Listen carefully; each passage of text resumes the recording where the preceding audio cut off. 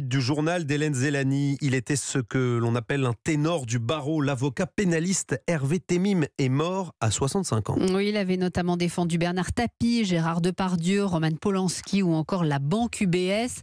En octobre 2020, il était au micro d'Isabelle Morizet sur Europe 1.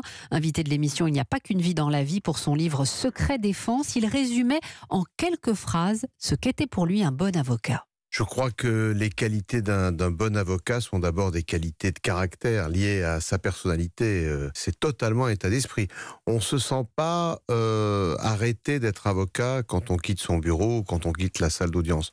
Moi, c'est quelque chose qui me colle à la peau. C'est une chance folle hein, d'avoir choisi un métier euh, par vocation, mais sans savoir évidemment ce qu'il pouvait représenter. Puis ensuite, de trouver que c'est exactement ça. C'est ce qui vous convient.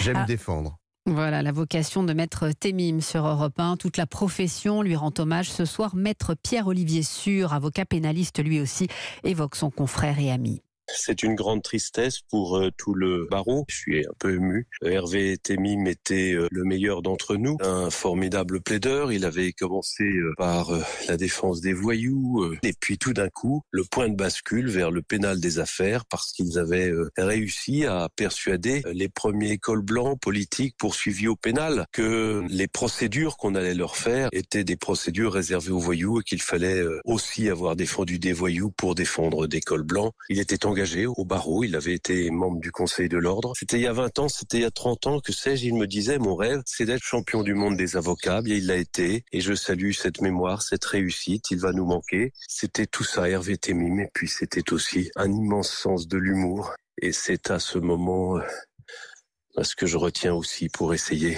de regarder vers la lumière et, et de sortir de mon chagrin.